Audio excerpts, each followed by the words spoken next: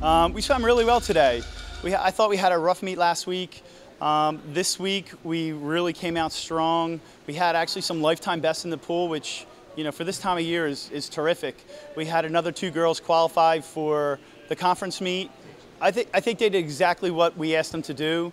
We swam a couple really good teams and they had some really fast swimmers and I, and I told them to try to keep up with them and that's what they did. So, you know, the way we train, it's, it's, it's difficult. We had a really hard practice on Friday and then I expect them to swim really fast on Saturday and they did exactly that. So we beat a conference team in Lyco that we've never beaten before. So, you know, all in all, it was a really good day. The next meet is against King's College, um, who again is in our conference, and they have a, a stronger women's team their their men's team is, is much bigger than ours, obviously with only three guys.